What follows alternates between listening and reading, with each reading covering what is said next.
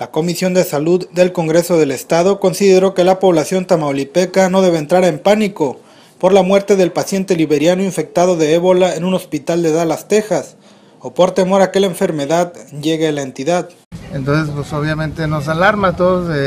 esto pudiera causar inclusive una crisis de pánico entre la población, pero finalmente, pues bueno, las autoridades sanitarias del vecino país, todos lo sabemos, eh, la capacidad que tienen para acercar ese posible riesgo y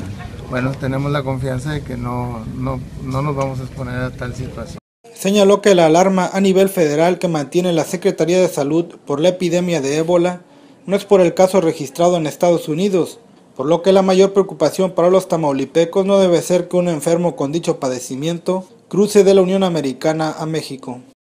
Riesgo mayor que tenemos como tamaulipecos y como mexicanos no es precisamente el vecino estado de Texas,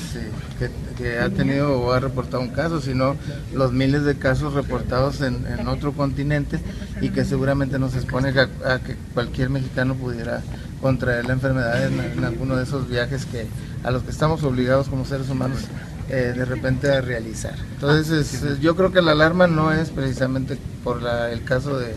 Texas, sino más bien por cómo esta epidemia ha ido creciendo en, otro continente.